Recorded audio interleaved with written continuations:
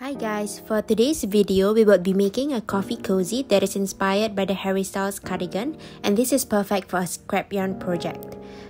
So you would need the 5 different colored yarns as shown and you would need a crochet hook. In this video, I'm using a 5.0mm crochet hook. You can use any hook that is suitable for you um, then we would also need crochet needle for weaving in the yarn and you would need scissors. So to make this cozy we are going to make a rectangle first before joining the two ends together and the rectangle would be approximately the size of 21 centimeters in length and 6 centimeters in height. So let's get started. So the first thing that you will need to do is to grab a red yarn from a slip knot and do 10 chains Feel free to adjust the number of chains depending on how thick you would like your coffee cozy to be.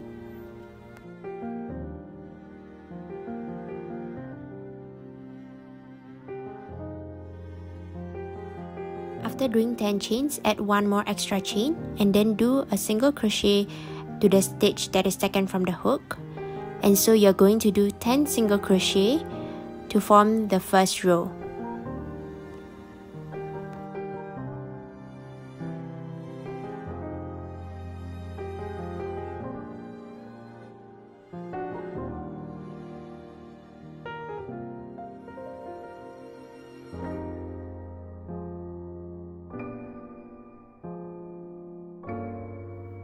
After doing 10 single crochet, you will do a chain 1 and then you are going to turn your work. And we are going to continue doing 10 single crochet for row 2 to row 5 and I will see you guys once you are done with row 5. Take note that at the last single crochet, I'm going to change the color of the yarn. So I will just pull the yarn through, leaving two loops. And then I'm going to add the orange colored yarn to finish the single crochet. And then I'm going to tie the shorter end of the orange yarn to the red yarn. This will ensure that the yarn will not come off. So um, I will continue doing row 6 using the new color. So I would do chain 1 first. And then I will turn the work. And even as I'm doing row 6 I will be hiding the yarn along. So as shown here okay I'm doing one single crochet and then I'm going to do a double crochet next. So to add some more like texture to the cozy I'm doing a pattern of one single crochet and one double crochet one single crochet and one double crochet. So different from what I did for the red part of the cozy I'm doing one single crochet and one double crochet for the orange part.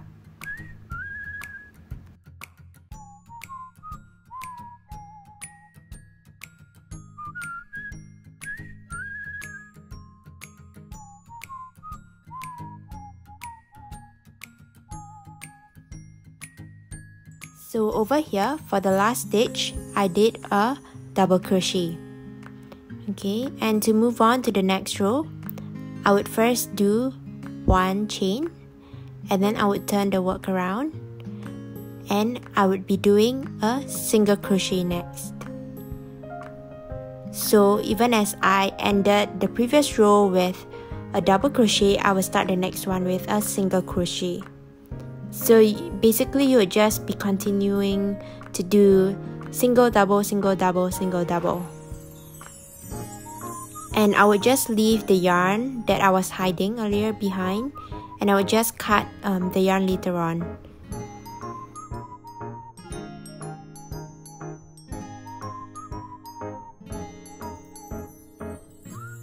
So shown here is the pattern that I would do to make the coffee cozy. Feel free to mix around the sequence of the colors and so basically what we did earlier was to do the portion of row 6 to row 9 of the orange color. And feel free to continue um, doing the green and the black color. And I will be showing you guys on how to do the mix of black and red color. So over here, I've just done the black portion of the coffee cozy and I'm going to add the red color to do the mixed portion and what I'm going to do is to bring in the red yarn and then tie the shorter end of the red yarn to the black yarn.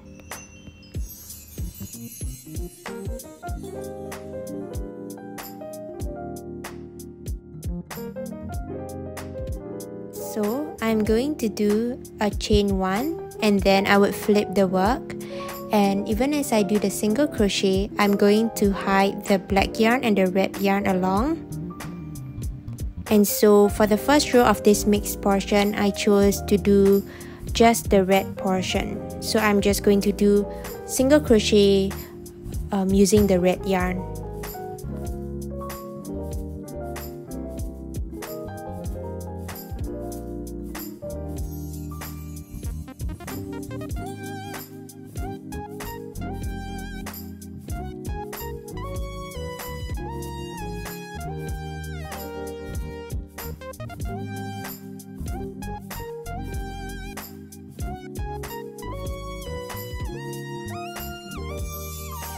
So now I'm going to do the second row of the mixed portion.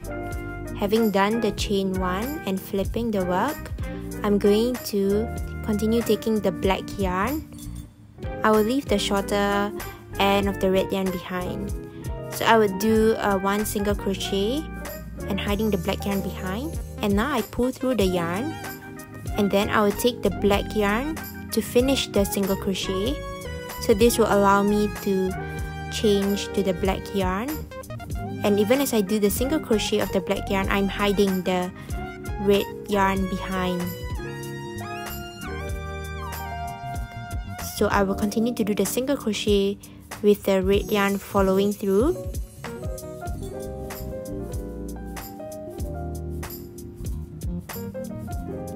And I'm done with the second row.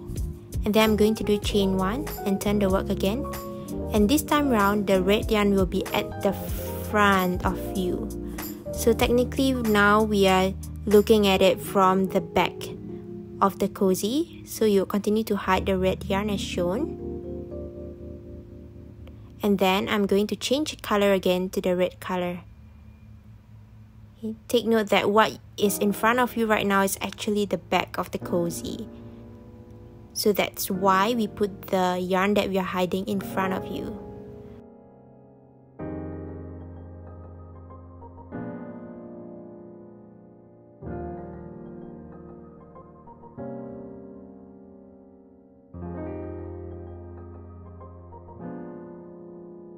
So now I'm doing the third row of the mixed section and so um, feel free to change the color of the yarn whenever you would like because it really depends on how you would like your mixed color to look like. So I don't really have a definite pattern for that.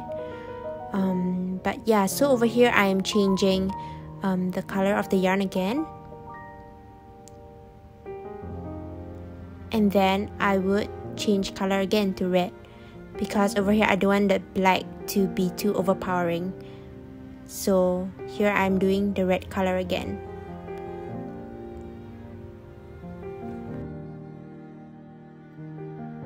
Continue doing the mixed portion and I will see you guys once you are done with it.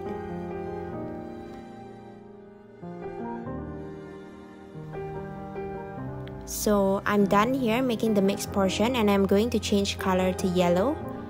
And so I'm going to grab the yellow yarn to complete the last single crochet. And so note here that there are three yarns, three different colored yarns. And what I'm going to do is to tie the red and black color together first. So cut the yarn and then I'm going to tie them together.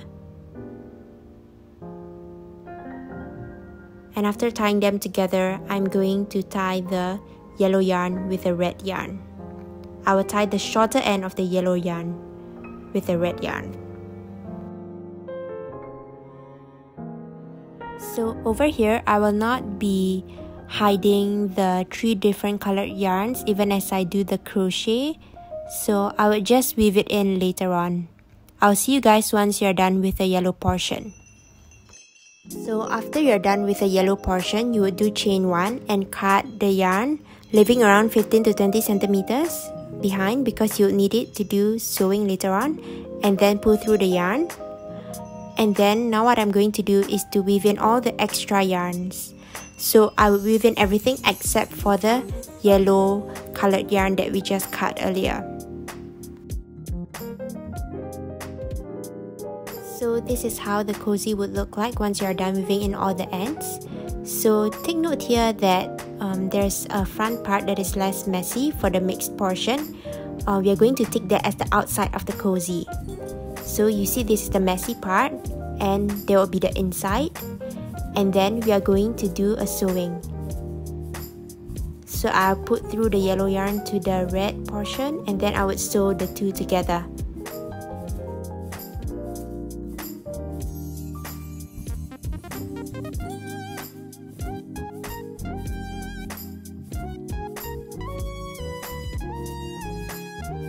So now we are reaching to the end and I would put the yellow to the inside of the cozy and then I'm going to tie the yellow yarn to form a knot. So this will ensure that the yellow yarn will not easily come loose and so I'm going to tie it um, once more. And once I'm done with tying the knots, I'm going to hide the yellow yarn to the inside of the cozy. And after you are done weaving in, you would cut the yellow yarn and we are done with the coffee cozy. So this would fit perfectly for a Starbucks cup like this. Okay, and I hope you enjoyed today's video and please remember to like and subscribe for more content and see you guys in the next video. Bye!